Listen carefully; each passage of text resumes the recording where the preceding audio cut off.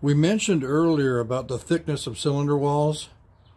The absolute best way to determine this uh, is to have the walls sonic tested. Your machine shop can facilitate this procedure with no problem. And you will know to the thousandths of an inch what you are dealing with. And all the machine shops, they have their preferences in terms of measurement, but they're all real close. Like one might say, uh, you know, 200 thou on the thrust side. The next guy will say, you know, 180. These numbers are not important as far as what is quoted in this video. I just grabbed those out of the air. But uh, it is wise to follow their recommendations on your block.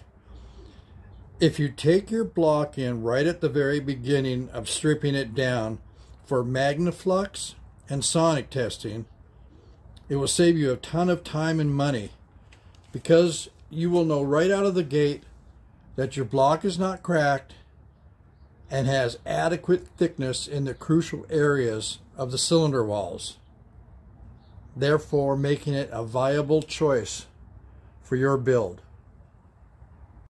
You've heard us say that we are using Vortec heads, and you have to use a Vortec intake with Vortec heads.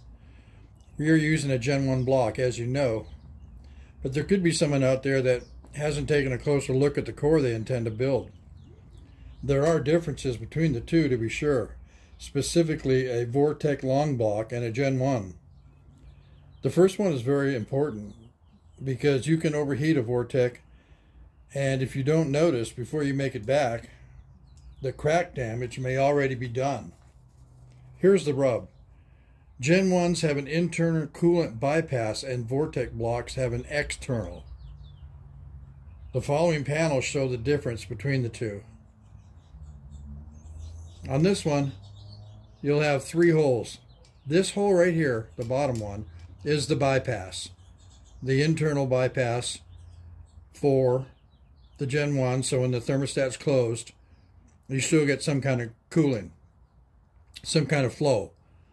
Vortec only has this and this on both sides. Note the Vortec intake on the left and the Performer RPM on the right. Note the angle of the intake bolts on each.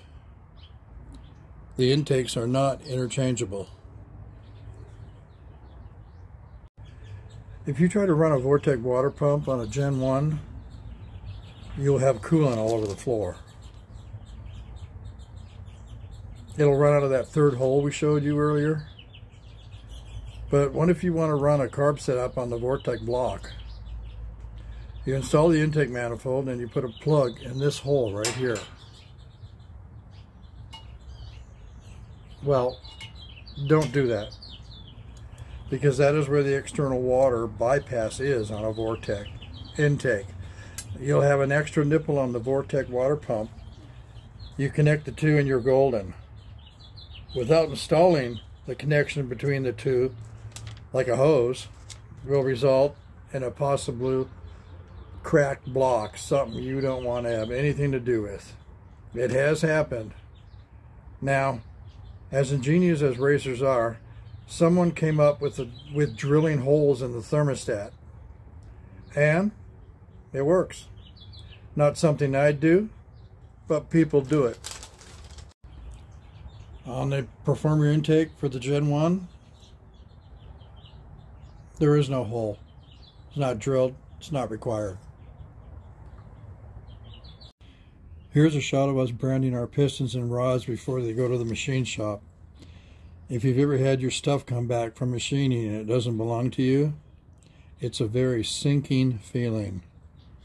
One viewer commented that some racers were trying to fool the tech inspectors at the track by using a 400 block with two freeze plugs on the side saying it was a 350. You know, 400s came with two or three freeze plugs on the side. The viewer got you know what it out of his 400 block. And my guess is the racers got caught.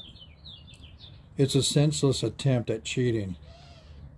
I don't think anybody likes cheaters. But it does happen. You never go back to that shop again. And I speak from experience. I had three pistons and a crank come back without my marks. I never went back. Here we are checking rod side clearance before we send it to the machine shop because there are, these are the new forged rods we'll be using and we hadn't taken that measurement yet.